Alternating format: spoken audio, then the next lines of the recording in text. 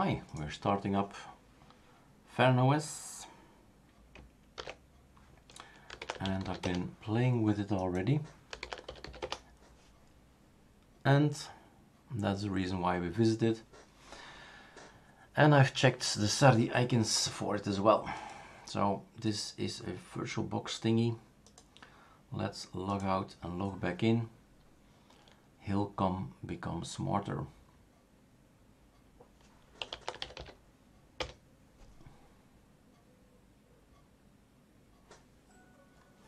there you are, full screen. Blah, blah, blah, blah. Um, yes, done, eh? no problems. okay, so this is what your Feren OS could look like. Come on, click. Never um, judge any operating system on a virtual box or on a virtual machine. Uh, VMware, there are other things out there, boxes Never. Install them always on a hardware, on SSDs preferably, because that's fast. Hard disk if you must. But of course, the better, the, the more recent the hardware, the better you get an impression. So I've installed already Surfn and Surfn is looking like this. Let's go over some of the icons. All right.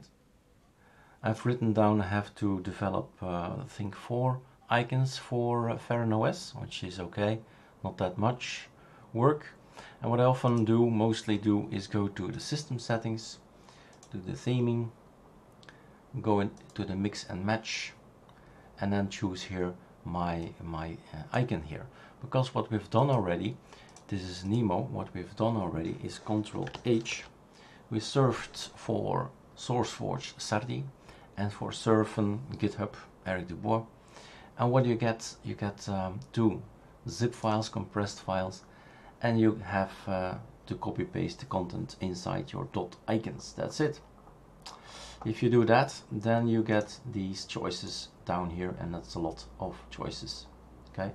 So let's continue looking at Surfn first and then um, take a look at Sardi so Surfn is looking rather good in the sense that um, there's a big difference between Surfn and Sardi.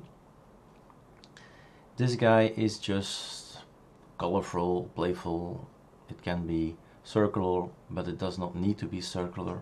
So it's this kind of look. Okay.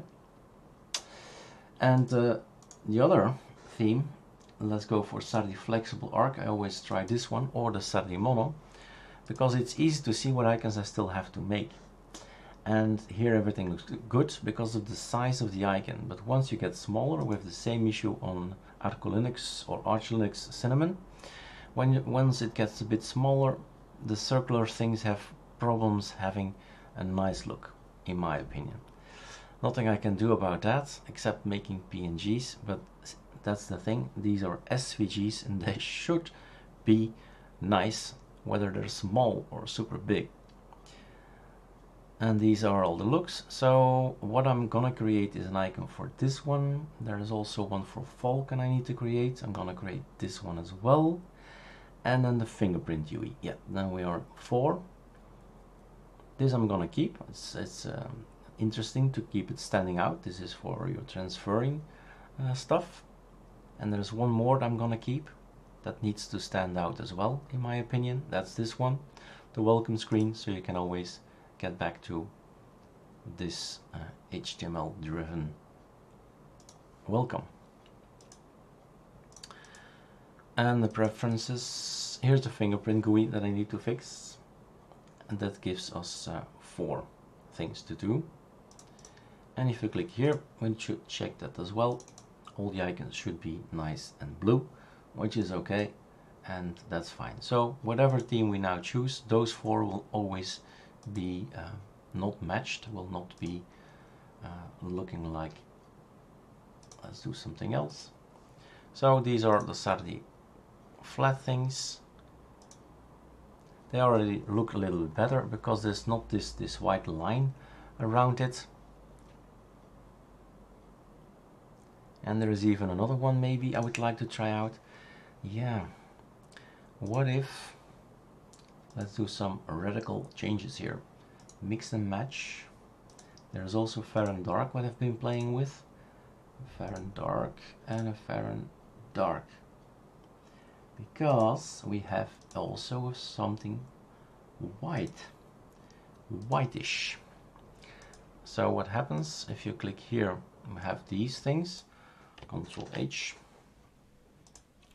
And when we click on the menu, you get this kind of things. So like you see, I still have to make those, but let's go over them all. Now we get this kind of look,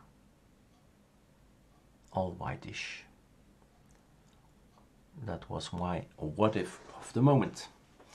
So there you go. Um, I know what to do now. On, on next release of Sardi, these guys will be in there. Alright, enjoy your operating system. Feren OS.